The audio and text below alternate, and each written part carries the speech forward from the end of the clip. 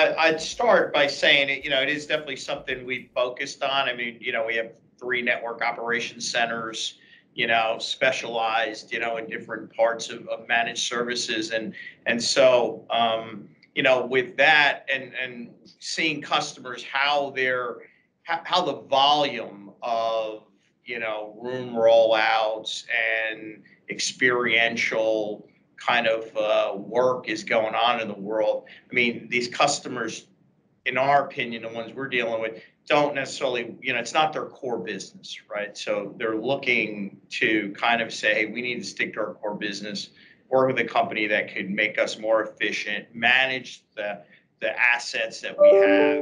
And so that's where I think, you know, we're in, a- we're in a good spot as, as a global, you know, global integrator for, for customers today. I, Yeah. I think it's sheer numbers, right? So if you look at the profile of a typical enterprise customer, uh, focused on the Fortune 1000s, uh, they typically will have a thousand plus conference rooms in their enterprise.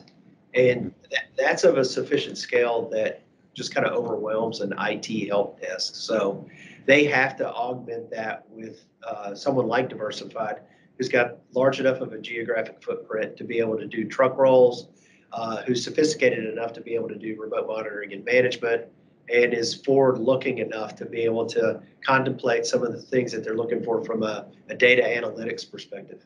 Yeah.